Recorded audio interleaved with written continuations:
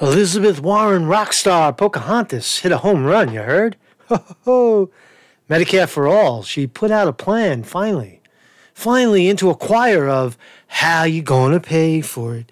How you gonna pay for it? The, the, the talking heads on television, how you gonna pay for it? Medicare for all, 50, $52 trillion. How you gonna pay for it? How you gonna pay for it? How you gonna pay for it? How you gonna pay for it? How many times have we heard how are you going to pay for it? Medicare for all, you can't do it. The country's too big. It's too many people. It's too expensive. Well, Elizabeth Warren, it's it's already factually in the record how we're going to pay for it.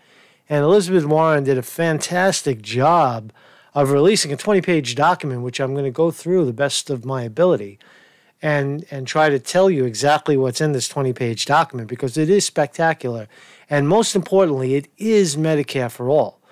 Elizabeth Warren has been accused of being sidestepping the issue of health care for all, health being some somewhat health care for some, health care but for somebody, right? You know, not for all. And uh, I read through the plan, and it's pretty it's pretty convincing what she means. It does mean covering all people. Medicare for all puts all health care spending on the government's books. It doesn't mean a medical, you know, uh, a a uh, healthcare system run by the government. That's the that's the falsehood. The fact is that the government is the single payer of all bills. That's how it works. And right now we pay ten times the amount for everything, healthcare and pharmaceuticals and all that stuff. Right? Ten times what other countries pay. And Medicare for all is the idea of of uh, reducing the costs. Does it work? Can it work? Will it work? Of course it'll work. Of course it'll work. So let's look at some of the commentary. Here's uh, when give credit where credit is due. Here is uh, TYT with Mr. Potato Head, Cenk Uygur, are going to talk about it. And give it a few minutes, and I here's where I agree with TYT completely. Elizabeth Warren has been facing a lot of questions over the past few weeks since the Democratic debate, uh, at the very least, about how she plans to pay for her Medicare for All plan and what exactly it will look like. And that is because Medicare for All is a benefit that you would get. And so you need to explain how it's paid for. If it's bombs, it's free. You don't have to talk about it. But if it's Medicare, we really need to know. And so now her, her plan is available, or at least a proposal about her plan. It's not the actual legislation, but she does have a post uh, that's like 20 pages long about a lot of the details in terms of the financing and everything. So there's uh, a good amount of good here. There's also some bad. We're going to cover both.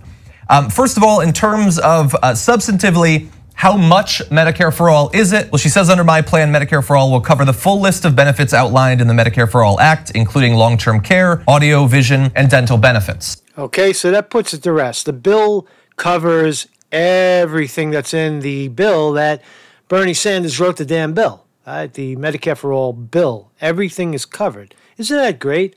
Isn't that great? Long term care, audio, visual, right? Vision, right? Fucking dental, Right? You can go to the dentist, eye doctor, right? It's all covered, right? It's all covered, and it doesn't cost us anything more. It actually costs us less, as you're going to see. That obviously is, is intended to match the, the version that, that Bernie has put out that is substantive Medicare for all that actually not only gives you everything that Medicare currently provides, but actually would expand the coverage to things like, um, you know, like uh, vision, dental, those sorts of things. So uh, overall, it is, before we get into the financing and everything, uh, it is substantive health care. Yes. All right, first uh, thoughts on it. Um, and the most important, it's real Medicare for all.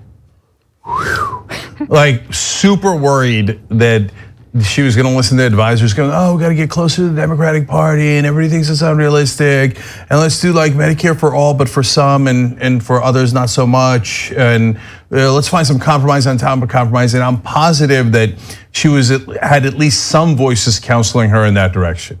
She didn't do that. This is actually Medicare for all. It ends private insurance, period. Ends private insurance, period. Thank you, Cenk Uygur, man. That was good stuff. Right, that's what it's really all about. Because uh, listen, two thirds of adults say finances haven't improved since the election of Donald Trump. You heard? Uh, see, we need this. We need health care for all in this country. Right? There's a million reasons why.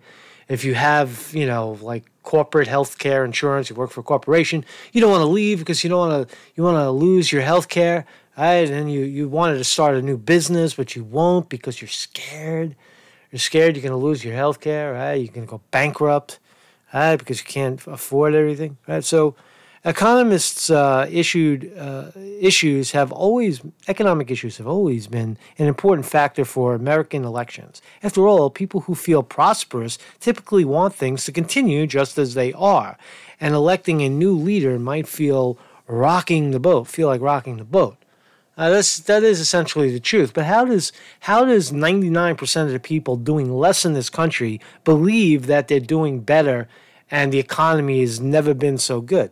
Well, that's you can blame the corporate media for that, the gaslighting of the American public to believe in a, in a very convincing charlatan at the head of the arrow was Donald Trump on TV shaking his finger saying everything is so good. You don't want communism. It fucking communism, right? You don't want commun socialists, the commie little socialists, right? You don't want any of that shit, right?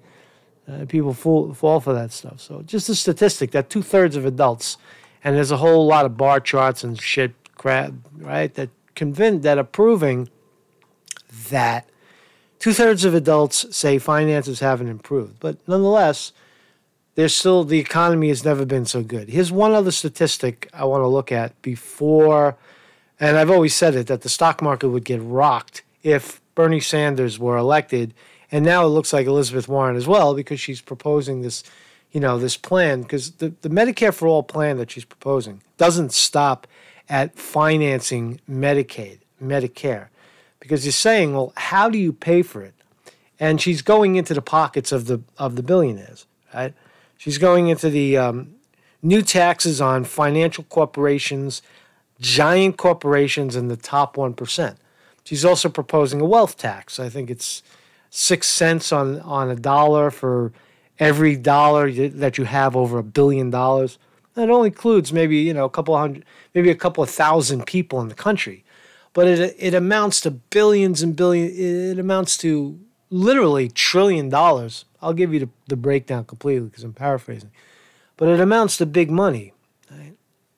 You're not going to pay more than more in taxes, and guess what? The billionaires and the trillionaires are not really going to feel anything anyway. They're not going to feel a difference in lifestyle because because a guy that has $10 billion now he has 8 billion, it's not going to matter to him. Or $7 billion. Well, how about $1 billion?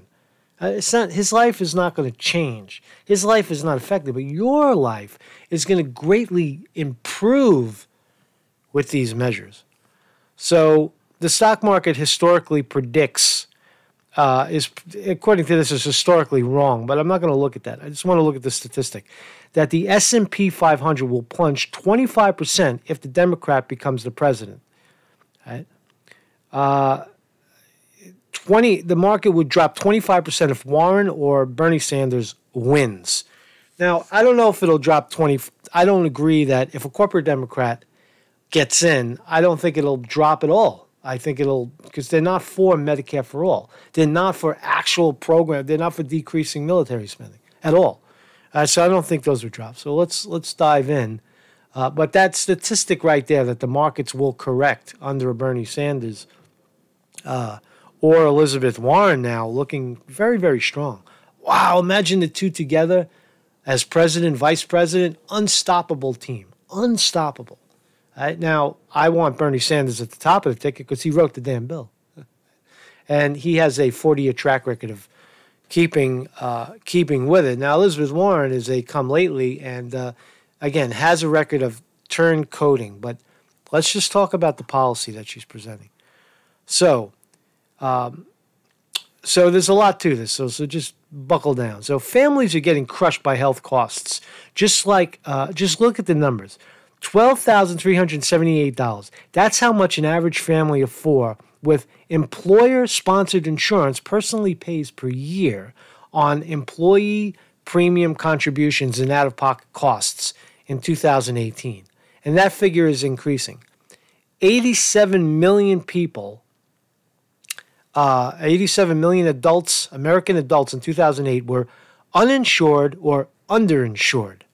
Meaning, what does underinsured mean? Meaning, either they have no insurance or their so-called insurance is like a car without the with the engine missing, right? it, it looks fine sitting in the lot, but inadequate if they actually want to use it.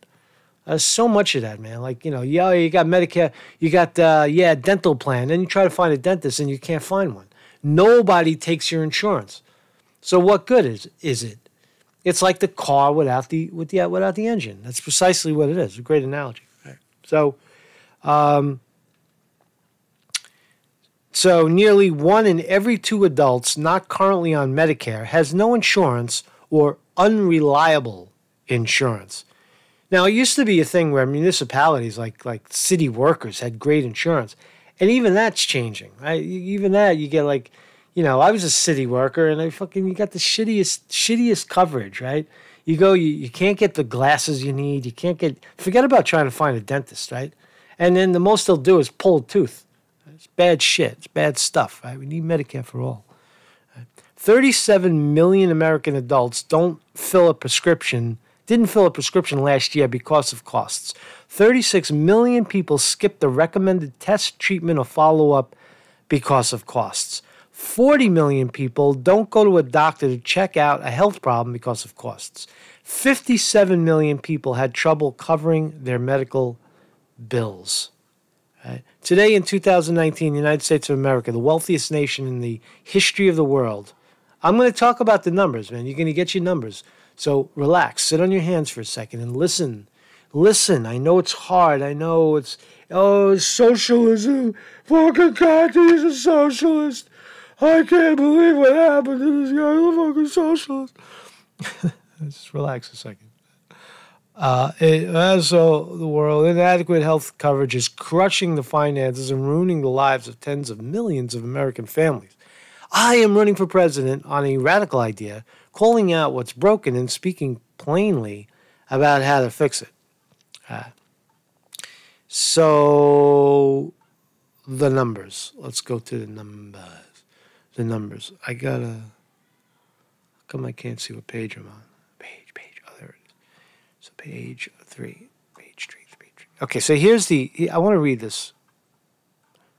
I want to read this. I don't know what I want to read. I want to read something. Listen to this. So, option one maintain our current system, which will cost the country $52 trillion over 10 years. And under the current system, 24 million people won't be covered, millions can't get long term care, 63 million have coverage gaps or substantial coverage that could break down if, if they actually got sick, and millions who have health insurance will end up going broke, at least in part from medical costs anyway. Sounds reasonable, right? That's what that's about where we are right now. Together, the American people will pay 11 trillion of that bill themselves in the forms of premiums, deductibles, copays, out of pocket, out of network, and other expensive medical equipment that and care they pay for out of pocket, out of pocket. All this, I'll put the the link is down below if you want to read the, these. This very extensive uh, document yourself. You should definitely do that. Uh, all while, America's wealthiest individuals and biggest companies pay far less in taxes than other major countries. Right? So that's that's currently the current state of things. We actually pay ten times more than other countries. Uh, ten times. That's ridiculous. Right? Option two, right? Switch to the approach of Medicare for all, which would cost the country less than un, just under 52 trillion over 10 years Right? The, uh, the same or less. I think it'll actually be far less. But every American, every person in America, all 331 million people will have full health coverage and coverage for long term care. Wow, we could do it for the same amount. Where are you going to get the money? Where are you going to get the money? How are you going to pay for it? How are you going to pay for it? How are you going to pay for it? How are you going to pay for it? How many times? How many? How many times? Fox News, fucking talking heads. How you gonna pay for it? how you gonna pay for it? how you gonna pay for it? Fucking sickening, man. It's sickening. Uh, they're working against you. Wake up. Everybody gets the doctor and treatment they need uh, when they need it. No more restrictive provider networks. No more insurance companies denying coverage for prescription treatments, for prescribed treatments, and no more going broke over medical bills. I'll take it. The 12, the 11 trillion in household insurance and out-of-pocket expenses projected under our current system goes right back into the pockets of Americans, American working people. And uh, we make up the difference with targeting uh, spending cuts, new taxes on giant corporations, and the richest 1% of Americans, and by cracking down on tax evasion. Not one penny in middle class tax increases. Okay? So, so the, the symphony of people that are going to say, they're going to raise your taxes, your taxes are going to go up, your taxes are going to go up. Absolutely, there's no other way of doing it. Your tax, the tax that you pay, Mr. Poor Guy, they're going to just charge you more for tax because how else are you going to pay for it? How are you going to pay for it? Well, we just told you how you're going to pay for it. Right? We just told you how the pay how we're going to pay for it, but we're going to tell you more too because it really is a fascinating subject. I just need to, for some reason, my page. Oh, there it is. My page, my page number. So I want to read from. Uh, I want to read the the financial breakdown. Her financial breakdown. It's brilliant, man. It's brilliant, man. This is the this is where our country should be going, right? So, here's some of the financial points. So, where does the rest of the money come from? From that allows us to eliminate premiums, deductibles, co-pays, and spending for every American. Here's the four sources of income. One, better enforcement of our, our existing tax laws so we stop letting people evade their tax obligations. Not you, not me, the corporations that don't pay any tax, that pay zero. And they don't pay anything on monies made abroad. So you you bring the foreign tax back up to 35%. You, you take the corporate tax that got slashed under Trump down to 20%, bring it back up to 35%, that sort of thing. Better enforcement of our existing tax laws so we stop letting people evade their tax obligations. I just read that. Number two, uh, target taxes on financial sector, large corporations in the top 1%. Three, uh, her approach on immigration. I don't know. She claims that if you enforce immigration law, you actually increase, uh, you decrease the amounts of, of money spent on healthcare, or you increase the pool of money of taxpayers in the pool that brings the cost down. I don't know anything about that. Uh, but shutting down a slush fund for defense spending. Okay, so here, number one, cracking down on tax evasion and fraud. The total government, the federal government has a nearly 15% tax gap between what it collects in taxes uh, and what is actually owed because of systematic under enforcement of our tax laws, tax evasion, and fraud. Uh, right there, you could save $2.3 trillion without a single new tax. Uh, just by just by just by enforcing the current tax laws, right? So there's a lot to this. Uh, target taxes on the financial sector, large corporations, and top 1%. We can generate a whole lot of uh, a lot of the remaining revenue we need for Medicare for all just by eliminating bad incentives in our current tax system and asking those asking those who I said ax asking those who have done really well in the past few years to pay their fair share. Now, there's also something in here about a uh, wealth tax. And that's essentially if you make, if you're over, if you have over a billion dollars, if you're a billionaire, right, you would pay six cents on every dollar that you have over the billion dollars, right? And that adds up to a lot of money, right? It's insignificant. It's also a, um, a tax on uh, Wall Street speculation. Every in, every uh, in and every out of every transaction would have a fraction of one tenth of one percent, which add up which adds up to about a trillion dollars a year, about eight hundred thousand. One tenth of one percent on the sale of bonds, stocks, and derivatives. That's another way to do it, right? Wall Street hates this bill. Of course they hate it. Of course, why is why is corporate America gonna come down on this bill? Right? Because you see that it it reaches it reaches into their pocket. That's why. Because whenever they say how are you going to pay for it, they look at the American people and say, well, the American people are already strapped. They can't pay for it, right? They can't. So you're going to pay for it, corporate America, right? By cutting out the uh, lowering CEO and executive compensations, um, right? uh, redirect tax uh, taxpayer funded health spending. We already have tax taxpayer funded health spending. I didn't know that. 6 trillion in existing state and local government insurance spending. Point that at Medicare for all. Right? Instead of giving it to the insurance companies that rape the country, right? Instead of giving them the money, right? We're eliminating the insurance companies. Why is that so hard to understand? Why is it why is that such a difficult idea to understand? It's like you're the person in need of health and there's the doctor over there in the hospital, sitting in the hospital, right? And there's this this big bunch of thugs right in between you and the hospital, like the mob negotiating how much how much it's going to cost you to get in that hospital and how much the hospital is going to get from the insurance company that they're raping next door, right? They're raping your insurance. It makes no sense, right? So get rid of these people. It's a half a million, a million people in the country. Sorry, get find another job. Uh, it's not a big deal. Just find another fucking job. You know, fifteen dollar minimum wage. Go work at Starbucks, man. We need you. Right? Get get get get, get going. That's why I'm proposing an institutional country by country minimum tax on foreign foreign earnings tax. Uh, how is it that a, a corporation like Amazon or uh, Apple, for example, can do business in I don't know in Europe and have a, a, a, an address in Europe and and just put all the profits into the European company that they own, the Euro, the European part of their ownership, and pay no U.S. tax on that money.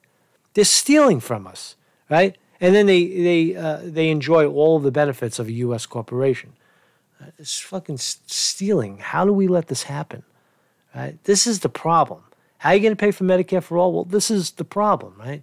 You have to go after big business. You have to go after the uh, the one percent. Right? So it's an outstanding bill. I think you should read it for yourself. Um, here's the wealth tax. By asking billionaires to pitch in six cents on each dollar of net worth ab- above a billion dollars, we can raise an additional one trillion in revenue and further close the gap between what middle class families pay as a percentage of their wealth and what the top one tenth of one percent pay. Uh, so wealth tax, rein in defense spending. She says, uh, there's all kinds of ways to do that. This is brilliant, man. This is what we needed.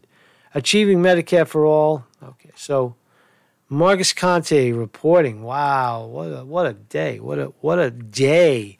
What a great thing Elizabeth Warren has done. Can she win? Can she beat Trump? Pocahontas. Pocahontas, she lied about her heritage. Is that a is that a game changer? Is that a break? Who gives a fucking shit, man? Trump lies every day. Right? Hillary Clinton, fucking pathological liars. They're all liars. They're all liars. Whether whether Bernie Sanders believed Russiagate or not, if he did believe it, then so be it. But if he didn't believe it and he's just making it up, then he's a liar too. They're all, to some degree, liars. So I don't care. What do I care? All I care about is policy. And Elizabeth Warren, on this day, at this moment in our American history, Elizabeth Warren has the policy for the American people. Stop fighting against a healthcare system that benefits you. Stop protecting the 1%. Stop protecting the oligarchy damn it. Because that's what you're doing. When you champion Trump, when you come on here now, and I know the comments are going to be socialist, he's a socialist. No, no, no. Socialism, it always leads to, to terror. It always leads to countries eating their dogs. It's horrible. It's pathetic. You can't have it. Forget about the terminology. Forget about the, the code words, the, the push button, the trigger terms, uh, because that's not what we're talking about. What we're talking about is a broken healthcare system Right? We're also talking about a broken military industrial complex, military system where, you know, war is profitable. So healthcare or disease is profitable in our country. We have to change that. Put money into prevention and you lower the you lower the, the cost even more. Right? Instead of spending all this money on giving all the money to insurance companies, let's build uh, let's build fitness centers across the country. Obesity treatment, right? drug treatment, uh, just just um, meditation, right? You know, awareness, right? Awareness of your health, Right? Most people don't even know. I mean, I just I just came back from the uh, from the farmers market. Right? Every every Saturday in Brooklyn, there's a farmers market right around the corner, and you know the groceries are.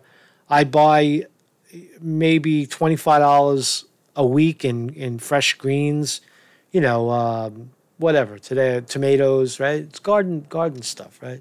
It's all fresh right from the Catskills, right? And, and Jersey Shore, right? But uh, big heads of broccoli and cauliflower, right? right? For twenty five dollars, I'm I you know that's that's vegetables for a week, right? And people spend that on you know I guess two packs of cigarettes in New York. I mean, what's what's wrong with people, right? See, we need to educate people, right? Rather than buying, you know, soda and fucking beer and cigarettes, why don't you buy some vegetables? Why don't you learn about your diet, learn about your exercise, uh, get out into the air, learn how beneficial uh, meditation can be. Don't take drugs. Don't don't be a, you know don't be a drug head. Don't rely on caffeine and nicotine and and um, all these toxins to stimulate your thought process and lose weight. Be just be be athletic. Be one. Be one with your your your uh, environment, and thereby you also decrease the cost of Medicare for all. But insurance companies don't have any profit. There's no profit motive. There's nothing profitable about keeping people healthy. There's profit in keeping people sick and drug dependent. And that's what we have to change in this country. So thank you, Elizabeth Warren. Um, I don't know. I'm starting to I'm starting to feel good about it, and you know now.